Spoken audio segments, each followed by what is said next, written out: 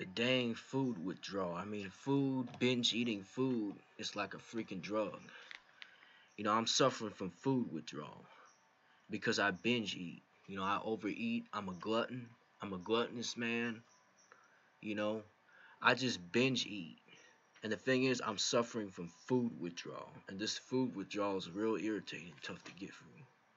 You know, I'm suffering from food withdrawal as an incel, you know, involuntary celibate. Now, I don't think I'm to put it on my title because it has a negative, more negative connotation than TFL, you know, true false loneliness.